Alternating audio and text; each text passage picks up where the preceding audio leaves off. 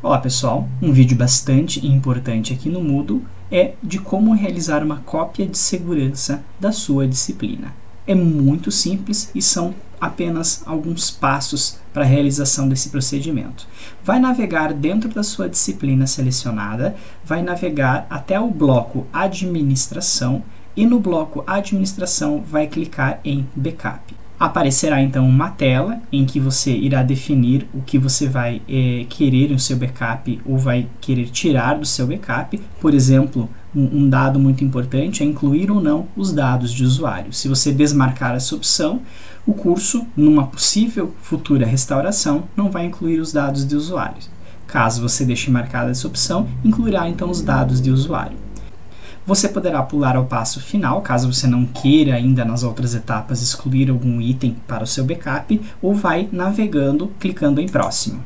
Aqui ainda você irá verificar os itens que serão importados, podendo marcar ou não, retirá-los deste eh, procedimento de backup. Vai navegar até o final, vai clicar em próximo. Aqui ele vai dar o nome do arquivo e lá ao final ele trará uma informação sobre a extensão desse arquivo, que é do tipo MBZ. Quando você fizer o download para o seu computador, todo arquivo do tipo MBZ será um arquivo de backup do curso do Moodle. Basta navegar até o final da página e executar o backup. O Moodle, então, irá realizar o processamento e isso pode durar alguns minutos. Ele fala que o arquivo de backup, então, foi criado com sucesso. Clique em continuar ele irá para uma área de backup privados do usuário.